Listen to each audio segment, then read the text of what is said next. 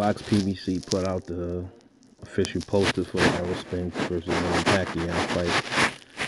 And I noticed under their names it says Unified World Championship. So you gotta ask yourself, well, how is this a unified fight? Um, Spence has the IBF, he has the WBC. Pacquiao is beltless. So right when I read that, I automatically knew what was about to happen.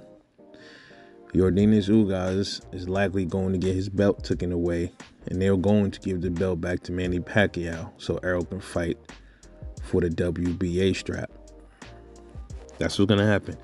Damn, I kind of feel well. Ugas didn't earn that WBA belt, so I don't really feel bad for him. It's not like he he earned it in a fight or anything like that. But I mean, it would have changed his life though. You know, if he was able, if he would have had the belt and ended up fighting Errol Spence, he would have had a nice, probably his biggest payday ever. But shit, man, that's kind of like his fault though, bro. Because he should have went ahead. I don't know if his team should have went ahead and pushed for the Errol fight instead of trying to be greedy.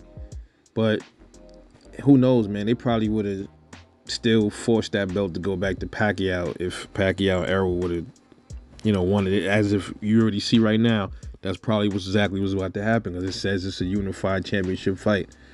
How can you have a unified fight if only one one fighter has the belt and the other doesn't? So that's telling me that Pacquiao is about to be the WBA champion again.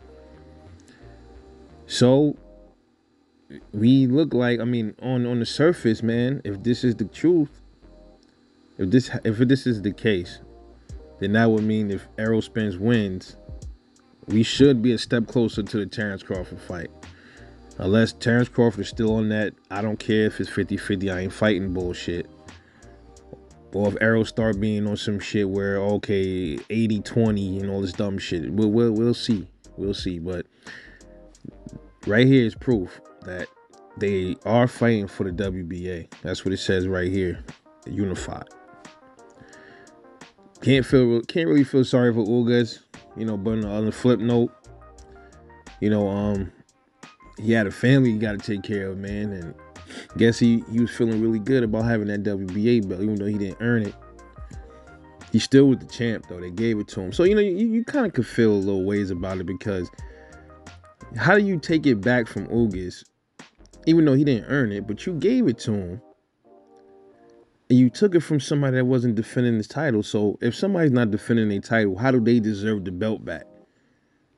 It's crazy, man. It's it's, boxing is a weird thing sometimes, man. But anyway, let me know what you think, man. Get back to me, like and subscribe. I'll catch you guys later on the next one. Peace.